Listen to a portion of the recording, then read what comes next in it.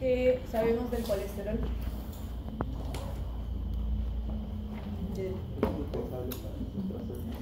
Ok, indispensable, indispensable, dice su compañero para otras células, ¿por qué?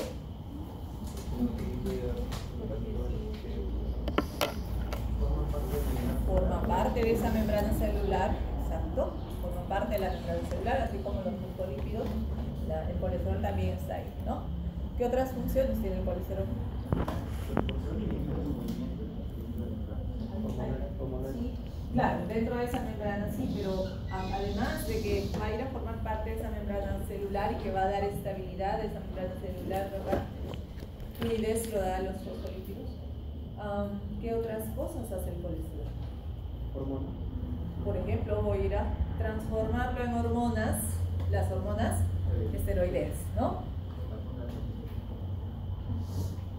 Entonces, ¿qué más? Una fluidez de membrana.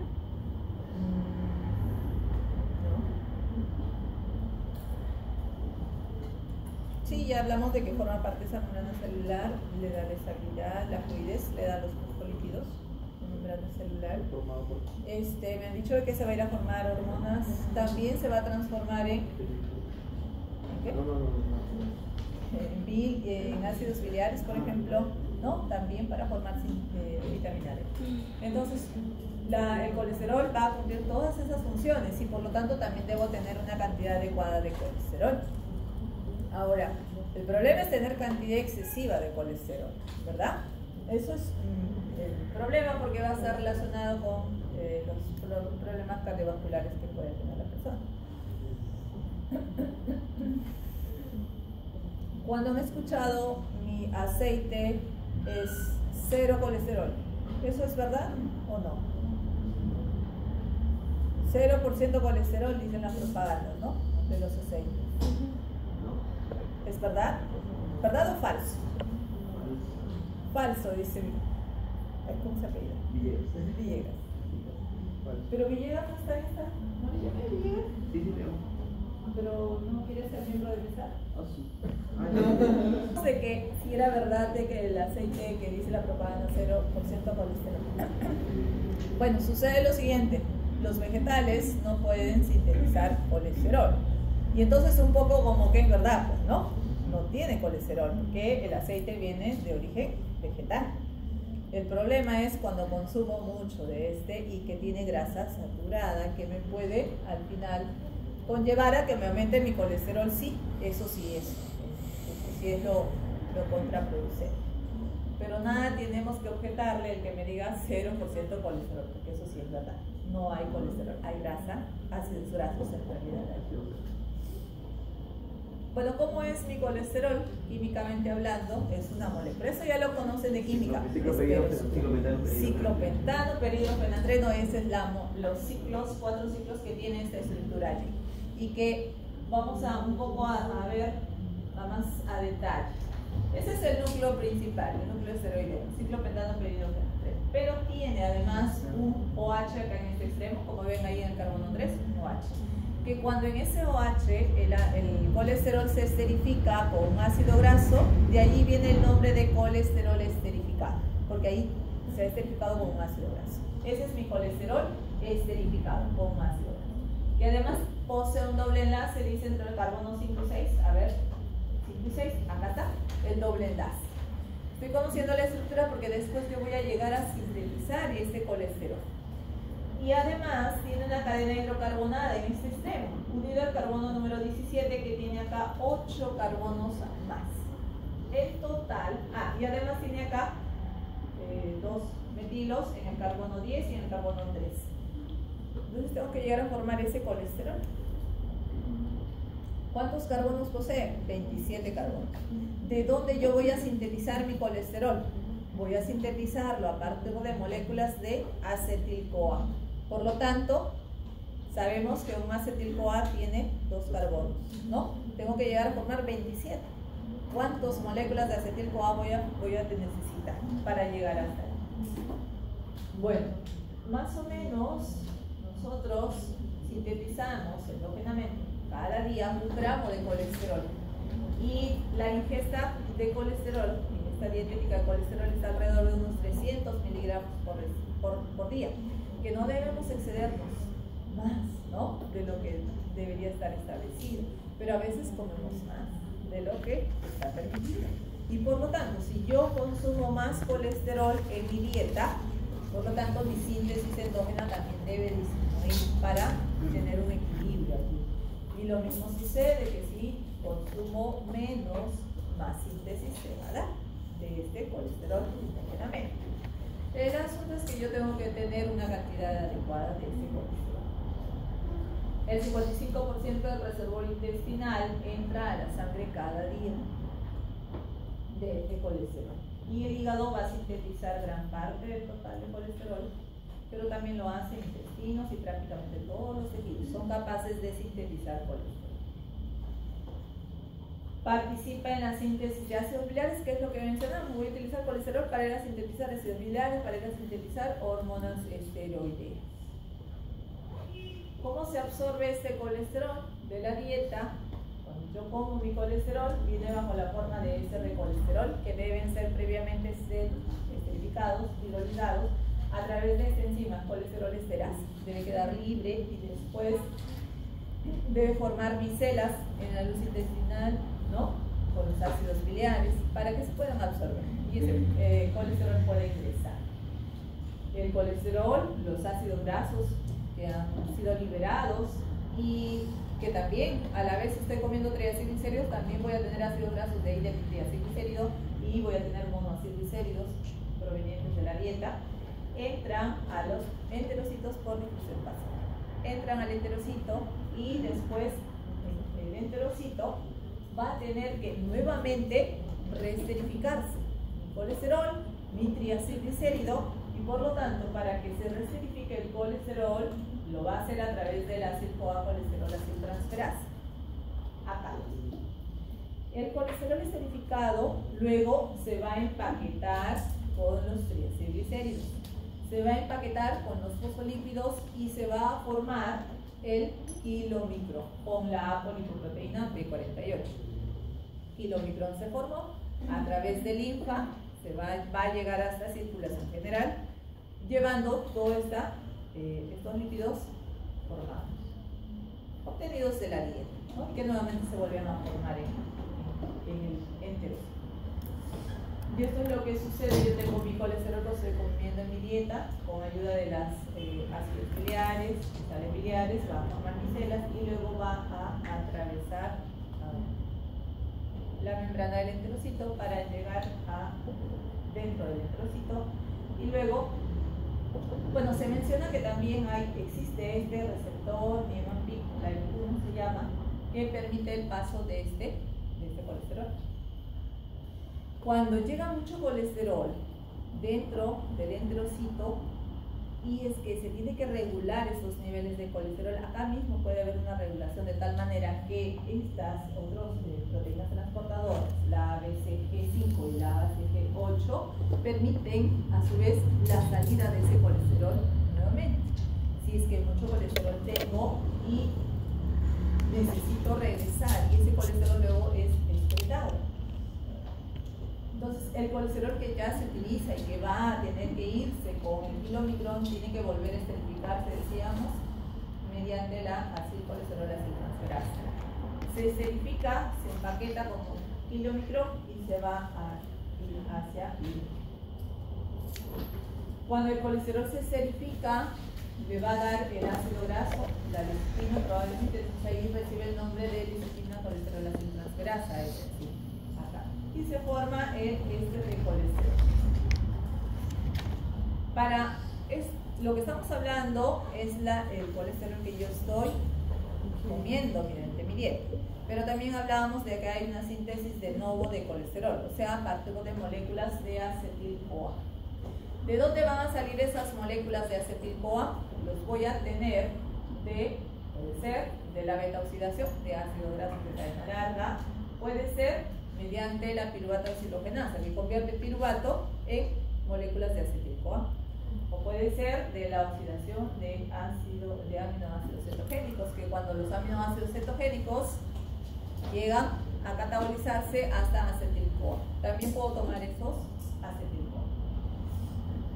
Ahí tenemos dos aminoácidos cetogénicos que son la leucina y la lisina.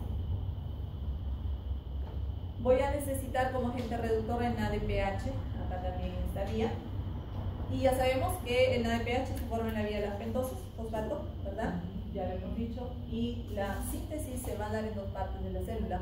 Empieza en el citosol y luego continúa en el retículo endoplasmático. Finalmente, el hígado es el principal este, formador de este colesterol, pero no quita que los demás tejidos también lo puedan realizar. Bueno, para ver síntesis de vamos a ver cinco etapas, que son estas. Primero voy a ver la formación del mevalonato, unidades isoprenoides, el cualeno, la y colesterol, finalmente. La síntesis comienza un poco muy parecido a lo que hemos visto en la ¿se acuerdan? En la cetogénesis. La cetogénesis decíamos que era lo inverso, en la última etapa, lo inverso a la betoxidación. En la última etapa de la betoxidación se, la última, última, última, se liberaban dos moléculas de acetil-CoA, ¿se acuerdan? Ahora se van a condensar dos moléculas de acetil-CoA, dijimos en la cetogénesis, empieza así. Lo mismo está sucediendo acá para la formación de ácido de colesterol, que se están condensando dos moléculas de acetil-CoA a través igualmente de una iolasa para formar aceto-acetil-CoA. Igual. Igual va a venir otra molécula de acetil-CoA para formar el hidroximetilbutyryl-CoA. Lo mismo se está dando. Y de acá, para la formación de mevalonato, porque esto ya incluye la síntesis del colesterol, dijimos que acá voy a formar mevalonato voy a necesitar de esta enzima, la hidroximetilglutaricoa reductasa, que necesita NADPH, para que convierta este hidroximetilglutaricoa en Sobre esta enzima se da la regulación de la síntesis de ácido graso, sobre esta enzima. Y a la vez sobre esta enzima también actúan ciertos fármacos cuando necesitamos disminuir los niveles de colesterol. Por ejemplo, las estatinas, como la simvastatina, la actúan inhibiendo esta enzima, inhibiendo la hidroximetilglutaricoa Si se inhibe esa enzima, quiere decir que ya no se va a formar mevalonato. Si no se forma mevalonato, ya no se va a poder sintetizar colesterol.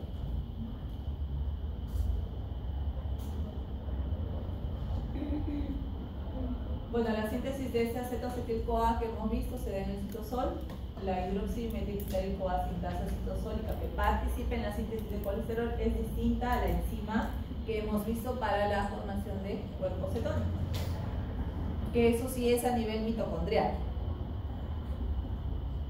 y la hidroximetilglutaricoa reductasa unida a la membrana del retículo plasmático genera finalmente mevalonato.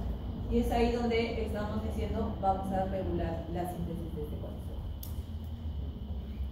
Una vez que se ha formado el mevalonato, que ya lo tengo acá, el mevalonato a través de tres sinasas, como vemos acá, tres sinasas, va a fosforilar la estructura anterior para convertirle en mevalonato 3-fosfo-5-difosfato. Tres veces está fosforilado.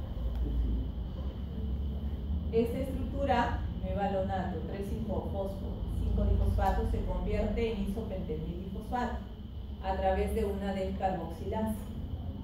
Saque este grupo carboxilo y la estructura me está quedando de esta forma.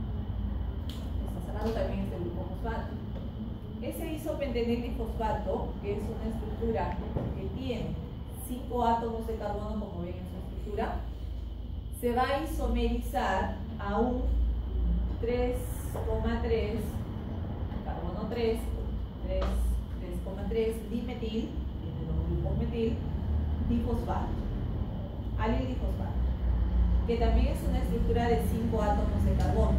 5 acá y 5 acá se condensan se unen. A través de esta enzima transferasa se va a dar la unión de estos dos para transformarse en una estructura más grande que se llama geranil difosfato, que ya tendría 10 átomos de carbono en su estructura. 10 átomos de carbono. El geranil difosfato recibe un isopentenil difosfato para que se condense y se forme farsenil difosfato.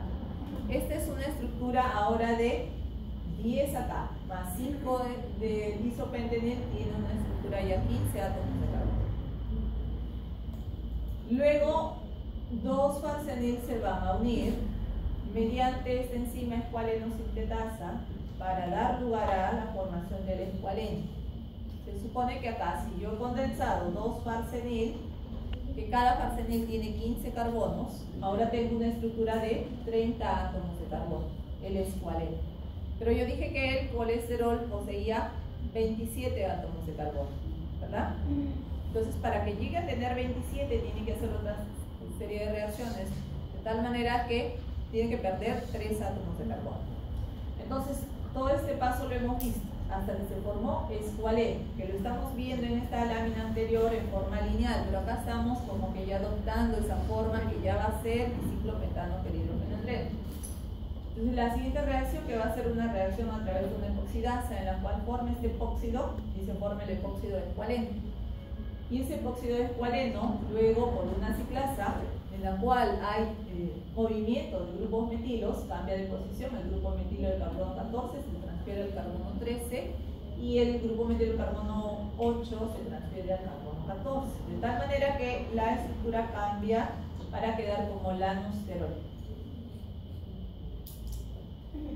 Del lanosterol pasa a 14 desmetilanosterol con pérdida de un carbono de la estructura bajo la forma de ácido fórmico está perdiéndose este grupo metil, sale acá. Y estos dos grupos metilos también lo va a perder como dos, dos CO2. Al final tengo simosterol. Y el simosterol se transforma en colestadineol y demosterol y finalmente en colesterol.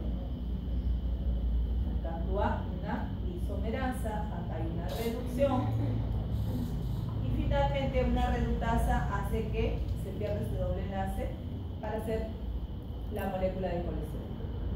Acá también existía antes un fármaco que se llama triparanol que inhibía esta enzima, la reductasa. Si inhibiese esa reductasa ya no se podía formar colesterol. Por eso es que ese fármaco era usado para disminuir mis niveles de colesterol. Ya no existe este fármaco porque producía efectos teratogénicos y se quitó del mercado y ya no se puede utilizar. La regulación de la concentración de colesterol. ¿Cómo se va a incrementar mi colesterol libre y cómo va a disminuir mis niveles de colesterol libre? Primero, para que incremente el colesterol, obviamente se tiene que dar más de esta biosíntesis de nuevo que acabamos de mencionar, ¿no? Aumenta mi colesterol. También podría ser por una hidrólisis de los ésteres de colesterol intracelular por la de colesterol hidrolasa esa que mi colesterol está esterificado con un ácido graso, lo va a liberar, lo va a separar y mis niveles de colesterol libre van a aumentar. Puede ser por un aporte dietético de colesterol, o sea, yo consumo más colesterol, pues más colesterol va a aumentar. Captación también de lipoproteínas de baja densidad. A partir de LDL yo también puedo obtener más colesterol y luego vamos a ver cómo que se da ese proceso.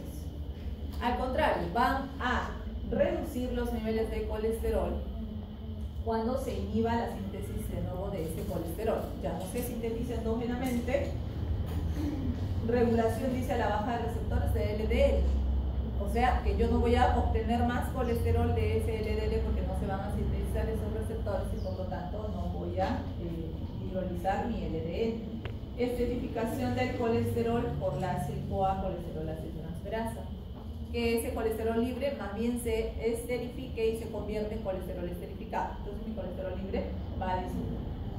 Cesión de colesterol desde las células a las lipoproteínas de alta densidad. También este HDL está quitando el colesterol libre y llevando a célula.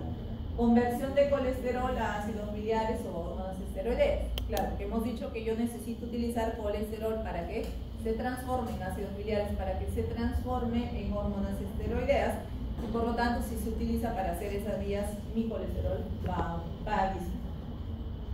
Esta es la forma en la cual yo voy a obtener colesterol a partir de LDL, colesterol. Bueno, sucede de que va a realizarse por un, mediante endocitosis, ¿no? Que está acá los receptores para LDL, que se va a formar este endosoma recubierto con una proteína que se llama clatrina. Se va a endosar, forma el endosoma, engloba, ingresa dentro de la célula y luego dentro de la célula va a ser hidrolizado toda esta lipoproteína, liberando colesterol, dejando libre las proteínas esterificamos el colesterol y de tal manera que yo voy a tener un colesterol libre también a partir de esta lipoproteína. El receptor se recicla, nuevamente sale a la superficie, nuevamente está ahí para poder captar otra LDL. La regulación de esta síntesis de colesterol dijimos que se va a dar a través de la enzima hidroximetilglutarico reductasa. Ahí, ahí la voy a ver. Ok, ¿quién activa o quién inhibe a esta hidroximetilglutaricoa reductasa? La va a activar la insulina, ¿no? Cuando hay suficiente energía y esas glucosas hacen glicólisis este y puedo ir a formar moléculas de colesterol. Entonces la insulina va a activar esta enzima. Al contrario, el glucagón más bien va a decir, déjame esas acetil-CoA porque yo los necesito para obtener energía y no los va a utilizar para formar colesterol. Entonces ahí la vía se inhibe. ¿Qué más va a inhibir esta enzima hidroximetilglutarico-CoA el propio colesterol que ya aumentó, ¿no? Por retroalimentación va a inhibir esa enzima. Sí. ¿Qué más? Además, si hay mucho colesterol, este aumento de colesterol va a propiciar su esterificación, ¿no? Por lo tanto, activa a la acetilcolesterol acetiltransferasa para que lo esterifique y lo convierte en colesterol esterificado.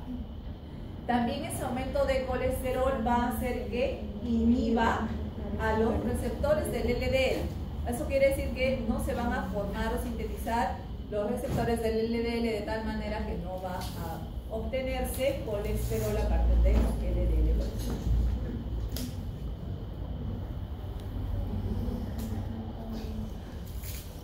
Buenas tardes. Y acá sucede lo mismo. A ver.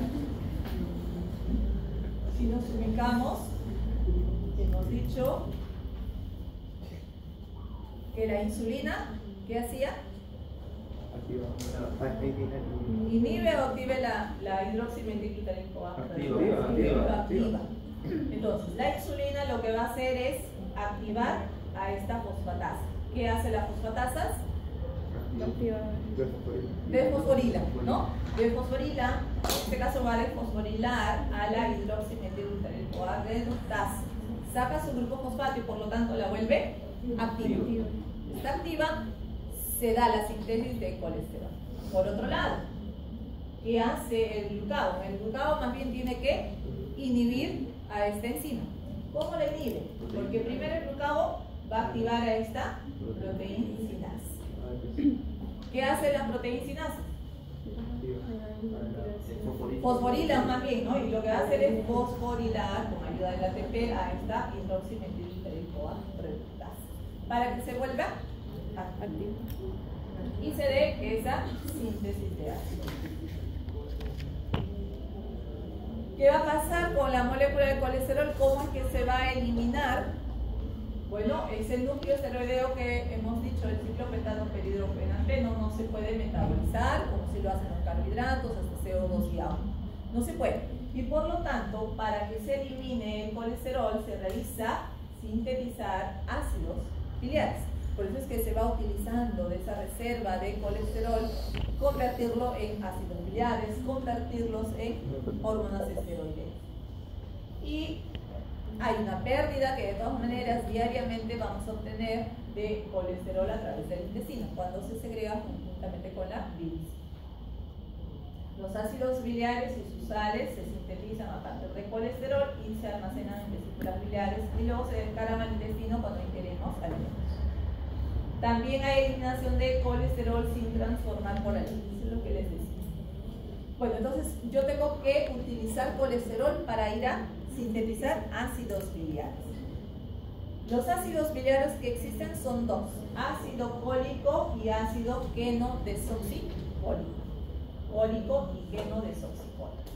Bueno, los ácidos biliares se pueden conjugar con dos aminoácidos. Se pueden conjugar con el aminoácido glicina o se pueden conjugar con el aminoácido taurino. Y de ahí se forman ácidos biliares primarios. Y de estos ácidos biliares primarios se pueden formar los ácidos biliares secundarios. A ver, si he dicho que existen dos, ácido cólico. El ácido cólico, si se conjuga con la glicina, quiere decir que se forma el ácido glicocólico. Acá es donde va a entrar la glicina. Si el ácido cólico, perdón, ¿dónde está? Cólico. No, es acá. Se conjuga con la taurina, se forma el tauro, ácido tauro. ¿Qué vendría a ser este otro? El otro tipo de ácido biliar que tenemos es el queno desoxicólico, que cuando el queno desoxicólico se conjuga con la glicina en ese extremo, se forma el glicoqueno desoxicólico. Y por acá si se conjuga con el ácido táurico, forma el tauro queno desoxicólico.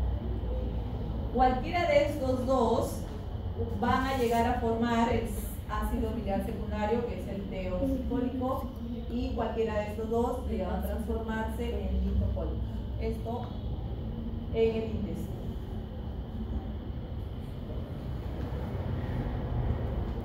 Bueno, en su síntesis vamos a ver lo siguiente de estos ácidos biliares a partir de esta molécula de colesterol. Sufre una 7-alfa hidroxilación, en este carbono 7 se está hidroxilando, se forma el, 7-hidroxicolesterol y luego se forma el colil-CoA que contiene un alfa OH extra en la posición 2. Otra vía que conoce la formación de este queno desoxicólico vendría a ser lo siguiente. Este 7 alfa hidroxicólico se tiene que transformar en colil-CoA y por este otro lado se transforma en queno desoxicólico. A ver si entendemos. Para que se transforme esta estructura en colil-CoA he necesitado de una enzima que se llama 12-alfa hidroxilasa. ¿Qué ha hecho esa hidroxilasa? Ha introducido un grupo H. En el carbono 12 se supone, ¿no? En el carbono 12 ha entrado allí. ¿Qué más está sucediendo? Que estoy necesitando acá de dos coenzimas A. Una de la coenzima A va a entrar a unirse acá con el ácido cólico y la otra de la coenzima A se está yendo con el, un resto de acá de la estructura salen tres carbonos, este de acá. O esto sale, sale, si tiene tres carbonos, sería un propionil un propionil CoA, está uniéndose a una coenzima. Pero por este lado, ¿qué está sucediendo? También está saliendo un propionil CoA, también he necesitado dos coenzimas A, una para que se una este, en este lado, a la vez se están perdiendo también los tres carbonos, está saliendo como propionil CoA, pero no estoy observando que se esté hidroxilando en el carbono 2. Esa es la diferencia entre queno desoxicólico y el ácido cólico, que tiene OH en el carbono 2. Este no, ese no lo tiene, ¿no? Eso nada más. Ambos han perdido tres carbonos de ese extremo, tres carbonos. ¿Ya? Entonces ahora es una estructura de 24, porque el colesterol tenía 27. Muy bien. Entonces, ¿qué va a seguir ahora? que estos ácidos biliares, ya están, ya son ácidos biliares, ya he formado el ácido cólico, ya he formado el ácido desoxicólico, es solo que están unidas a la coenzima Lo que toca ahora es que se conjuguen con la glicina o con la taurina. Entonces, el ácido cólico acá, o el colil-CoA, se va a unir a la taurina. En este extremo va a entrar la taurina. Esa es la taurina, todo esto taurina entra, se desplaza la coenzima sal y se forma el ácido taurocólico, dijimos. Si por este lado la colina se conjuga con la glicina, se desplaza la coenzima y entra la glicina por este lado y se forma el ácido glicocólico o glucocólico, es lo mismo. Todos estos, estos dos son ácidos biliares primarios. También son ácidos biliares primarios estos que derivan del queno desoxicólico. ¿Se acuerdan? Dijimos, queno desoxicólico no tiene este OH que sí lo posee el cólico A. Entonces acá también puede entrar lisina o puede entrar taurina para formar tauroqueno desoxicólico o glico o glucoqueno desoxicólico. Que son los cuatro que vimos en, el, en la lámina bueno, los ácidos biliares primarios se metabolizan luego en el intestino mediante la actividad de bacterias intestinales que darían la formación de otros ácidos biliares, que serían los secundarios. Para que se formen esos ácidos biliares secundarios se produce primero una desconjugación. Eso quiere decir que tiene que ser la glicina, tiene que ser la taurina y se produce una deshidroxilación. En ese carbono 7, en ese carbono 7 tiene un hidroxilo, entonces va a salir lo que va a producir ácidos biliares secundarios, el desoxicólico y el litocólico. Entonces, tengo acá, tengo mi 7 alfa colesterol, se forman los ácidos biliares primarios, dijimos, y que luego esos ácidos biliares que van a salir, van a desembocar en el intestino, las bacterias intestinales lo que hacen es desconjugar separa, sale los, la glicina la taurina y aparte va a deshidroxilar al ácido fólico para convertirlo en ácidos biliares secundarios y que esos ácidos biliares o pueden reabsorberse o vamos de todas maneras a, sufrir una pérdida de estos y cuando se, se ha perdido hay que utilizar más colesterol para volver a sintetizarlos. Eso es lo que sucede cuando se deshidroxila y cuando se desconjuga. Por acá. Si yo empiezo del ácido glucocólico, glucocólico, o sea, cólico unido a la glicina. Ácido cólico unido a la glicina. Ese es el ácido glucocólico o glucocólico. Primero, se desconjuga. Sale esta glicina, salió. Y se deshidroxila. Este hidroxilo está saliendo acá. Igual sucede acá. Este hidroxilo está saliendo y está saliendo esta parte de su estructura que vendría a ser la taurina, también se está eliminando. Cualquiera de los dos termina, termina transformándose en ácido desoxicólico. Y por este lado va a suceder lo mismo. Observen que acá en este carbono 7 tiene el grupo OH, sale, ya no lo tiene. Y que además se desconjuga, sale la taurina o sale la glicina, ya no lo tiene. Cualquiera de los dos, taurocólico o glicogeno desoxicólico, se transforma en el ácido litocólico, ácido biliar secundario. Siempre preguntamos y nunca me contestan. Ahora se Bueno, entonces hay un fondo común de colesterol allí que yo voy a utilizar para ir a sintetizar. Mi ácido biliar alrededor de 3 a 5 gramos al día y estos ácidos biliares salen conjuntamente con la bilis para que emulsifiquemos las grasas. Y esos ácidos biliares, más o menos de todo lo que se ha secretado, un 98% se reabsorbe. Se reabsorbe y nuevamente llega a el hígado y el resto se va a perder, alrededor de 0,4 gramos al día. También hay una pérdida de 0,4 gramos de colesterol. Bueno, terminamos. ¿Falta tiempo? Sí, falta 15 minutos. Ok. Tenemos que estudiar.